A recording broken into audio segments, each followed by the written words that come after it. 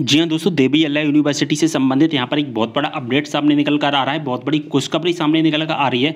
जो भी छात्र हैं, देवी अल्लाह यूनिवर्सिटी के दोस्तों, वीडियो को पूरा देखें। उनतीस जुलाई के रात के समय ही एक ऑफिशियल अपडेट जारी किया गया है। इस ऑफिशियल अपडेट में क्या लिखा गया है, पूरी इन्फॉर्मेशन को देखेंगे इस वीडियो के माध्यम से। दोस्तों, वीडियो को पूरा देखें। जैसा कि आप देख पा रहे हैं, यहाँ पर लिखा गया है कि इंदौर देवी अल्लाह यूनिवर्सिटी के द्वारा माह जुलाई दो हज़ार इक्कीस में आयोजित परीक्षाएँ, जो दिनांक बीस जुलाई से चौबीस जुलाई दो हज़ार इक्कीस के मध्य आयोजित की गई थी।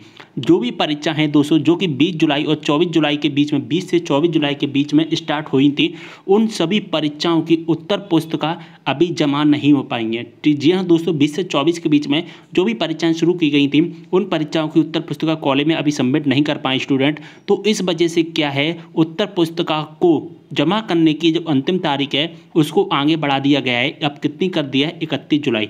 यानी कि आप इकतीस जुलाई तक आप अपनी आंसर सीट कॉलेज में सबमिट कर पाएँगे। जो भी स्टूडेंट जिस भी स्टूडेंट ने अभी तक आंसर सीट कॉलेज में सबमिट नहीं किया है, वो स्टूडेंट जरा ध्यान से समझ लीजिए, जिनकी परीक्षाएँ बीस से चौबीस जुलाई के बीच में स्टार्ट की गई थी, उनकी आंसर सीट कॉलेज में जमा करने की लास्ट डेट अब इकतीस जुलाई कर दी गई है। आप इकतीस जुलाई तक अपने कॉलेज में आंसर सीट सबमिट कर सकते हैं बारह बजे से चार बजे तक। जी हाँ दोस्तों, बारह बजे से सात चार बजे तक आंसर सीट कॉलेज में जमा की जाएँगी। अगर दोस्तों आप किसी कारण बस अगर अपनी उत्तर पुस्तिका इकतीस जुलाई तक जमा नहीं कर पाते हैं तो इसके बाद किसी भी स्थिति में जमा नहीं की जाएँगे और जब आप अपनी आंसर सीट कॉलेज में सबमिट नहीं करेंगे तो आप फेल हो जाएँगे। जी हाँ दोस्तों, आप फेल हो जाएँगे, आपका करियर खराब हो जाएगा, एक साल खराब हो जाएगी। तो दोस्तों आप अपनी आंसर सीट कॉलेज में इकतीस जुलाई तक जमा कर सकते हैं। इस वीडियो को शेयर कर देना सभी के साथ में। मिलते हैं इस वीडियो के साथ। तब तक लिए बाय